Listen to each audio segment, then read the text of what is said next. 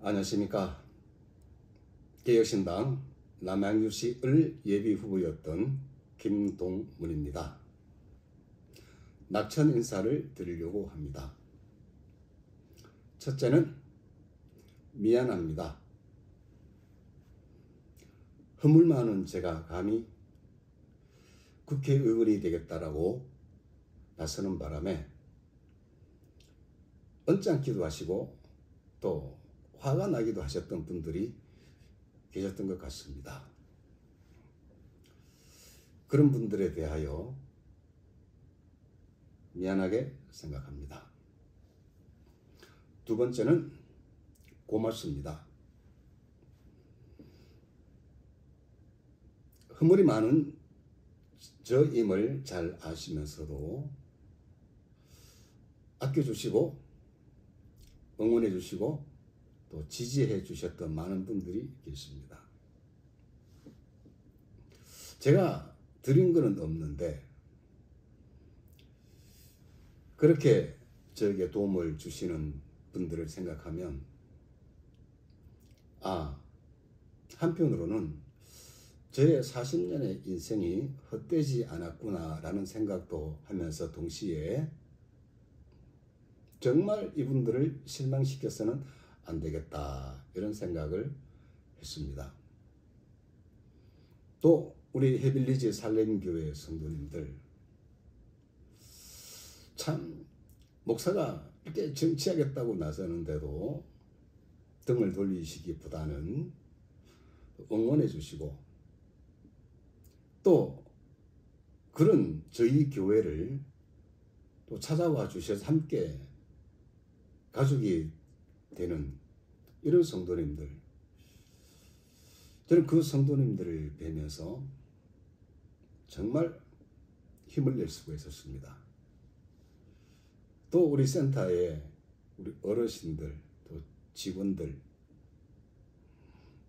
정말 저를 젊은 오빠로 부르면서 응원해 주시는 우리 할머니들 너무너무 참 고맙습니다. 어, 사실 저는 제가 현실 정치에 참여를 하면서 두려웠던 게 두 가지가 있습니다. 뭐냐 하면 교인들이 등을 돌리, 돌리지 않을까.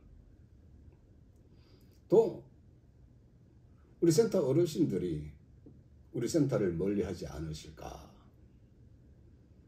그런 두 가지 염려가 있었는데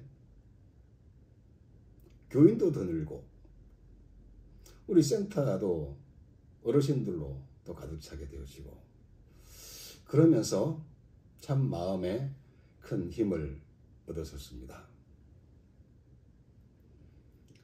또 정말 제 인생에서 잊을 수 없는 고마운 분들이 있습니다. 제가 눈물 흘릴 때 제 눈물을 닦아주시고 또 제가 넘어졌을 때 제 손을 잡아 주셨고 제가 열심히 살려고 발버둥 칠 때 저의 등을 두드려 주셨던 분들이 있습니다. 그분들 때문에 오늘의 제가 있습니다.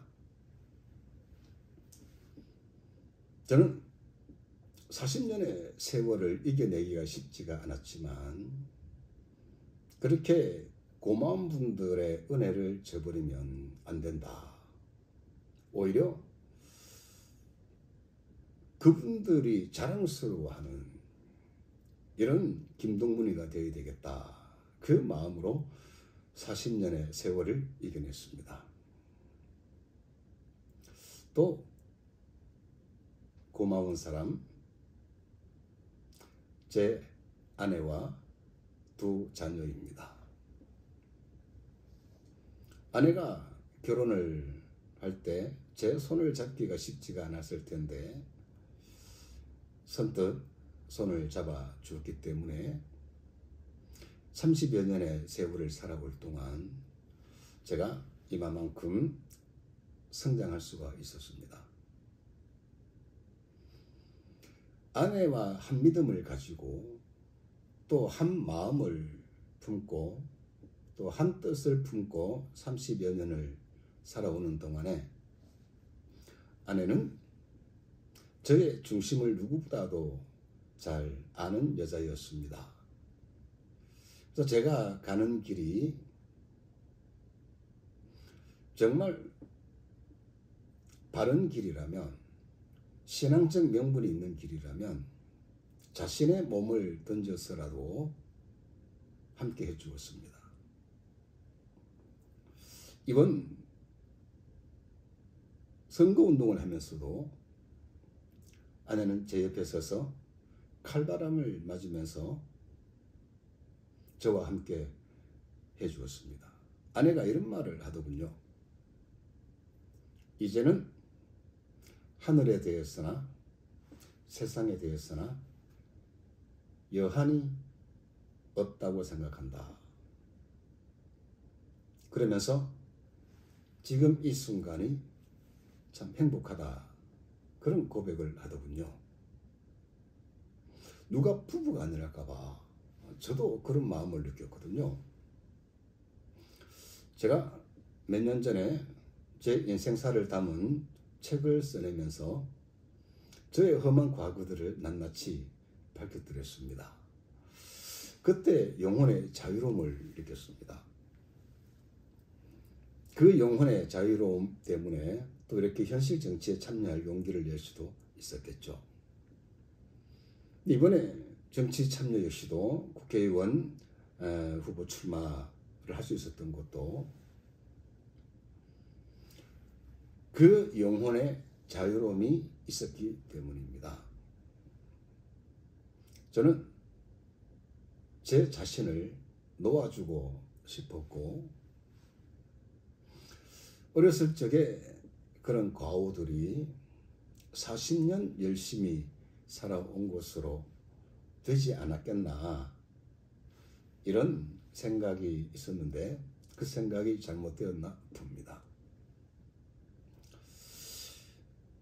제가 평생을 사회복지사로 살면서 사회적 약자의 보수로 살아오던 중에 정치 참여를 결심하게 된 것은 이제 30년의 사회복지사로서의 경륜을 되살려서 정치계에 진출하게 되어지면 정말 사회적 약자를 위한 좋은 법안들을 만들 수가 있겠구나 그런 생각을 했었습니다. 근데 그러려면 제가 제 자신의 허물을 스스로 다 드러내야 한다는 것도 잘 알고 있었습니다. 그런데요, 그 용기가 생기더라고요. 그 용기가 저의 신앙적인 답을 얻은 데서 나온 것일 수도 있고, 다음에 두 번째는 이준석 개혁신당 대표가 그 용기를 제게 불어넣어 줬습니다. 어떻게 보면 저는 오늘보다 나은 내일을 연 사람이지 않습니까? 많은 사람들이 저를 가리켜서 자수성가했다라고 하는데 저는 자수성가가 아닙니다. 첫째는 하나님의 도움이 있었고 또 두 번째는 제 주변에 저를 도왔던 많은 분들이 또 있었고 또 세 번째는 나의 아내가 또 있었죠. 그래서 자식들에게 말할 때도 아비는 자수성가한 사람이 아니다. 이렇게 주변 사람들부터 많은 도움을 받아서 오늘에 이르게 되었다. 너희들도 다른 사람들이 마음을 열어서 너희들 도와주고 싶은 마음이 생길 수 있게끔 그렇게 살았으면 좋겠다. 뭐 이런 잔소리도 어, 늘 하죠. 이제 그렇게 적어도 저에 대해서는 어제보다는 나은 오늘을 열었고 오늘보다 나은 내일을 연 사람이 할 수가 있는데 그래서 저 혼자 생활의 안정을 누리며 희희낙낙하며 살아서는 안 된다라는 제2, 제3의 김동문 같은 사람에게도 오늘보다 나은 내일을 열, 용기를 불어넣어 줘야 된다. 이런 소명의식이 생겼습니다. 그리고 여러분, 패자, 패자도 부활할 수 있는 세상이 아름다운 세상 아니겠습니까? 누구보다도 패자였던 제가 패자도 부활할 수 있는 세상을 만들고 싶었습니다. 그래서 도전을 하게 되었는데 이준석 대표가 오늘보다 나은 내일을 위해서 오늘보다 나은 내일을 열기 위해서 용기를 내라고 했을 때 아, 제 가슴에 불이 붙어들었습니다. 그래서 용기를 냈지만 결국은 낙천이 되었습니다. 저는 저의 낙천이 개혁신당의 승리라고 생각을 합니다. 왜냐하면 개혁신당은 정치 개혁을 추구하고 있지 않습니까? 양당에 자기들만의 류기에 갇혀 있어서 권력 다툼에 골몰하고 있는 그런 당과 같지 않고 정말 모든 국민이 공감할 수 있는 이런 어제보다 나은 내일을 열기 위해서 만들어진 당인데 아무리 오래전에 과오라 할지라도 저 같은 사람을 공천을 준다는 것은 개혁신당의 정체성을 해칠 수도 있기 때문에 그래서 저 같은 사람 아무리 열심을 냈었던 저라 할지라도 저 같은 사람을 컷오프 시키는 것은 개혁신당다운 결정이라고 생각을 합니다. 저는 출마 의사를 밝히면서 이렇게 써드렸습니다.